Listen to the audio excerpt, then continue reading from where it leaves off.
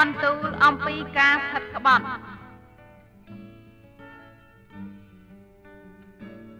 អ្នករាល់គ្នាធ្លាប់ឮសេចក្តីថ្លែងទុកមកថាកុំប្រព្រឹត្តអំពើផាត់ក្បត់រីឯខ្ញុំវិញ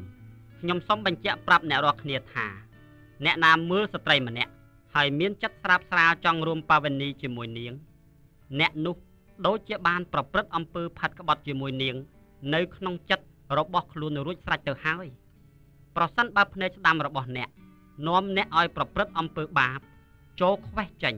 ហើយបោះចោលឲ្យឆ្ងាយពីអ្នកទៅបើអ្នកបាត់ភ្នែកតែមួយនេះ ប្រសើរជាងបណ្ដោយឲ្យរូបកាយទាំងមូលធ្លាក់ទៅក្នុងនរកប្រសិនបើដៃស្ដាំរបស់អ្នកនាំអ្នកឲ្យប្រព្រឹត្តអំពើបាប ចូលកាត់វាហើយបោះចោលឲ្យឆ្ងាយពីអ្នកទៅបើអ្នកបាត់តែអវយវៈមួយនេះប្រសើរជាងបណ្ដោយឲ្យរូបកាយទាំងមូលធ្លាក់ទៅក្នុងនរក មានសេចក្តីថ្លែងទុកមកថាបុរសណាលែងភរិយាត្រូវធ្វើលិខិតលែងលះឲ្យនាងរីឯខ្ញុំវិញខ្ញុំសូមបញ្ជាក់ប្រាប់អ្នករាល់គ្នាថា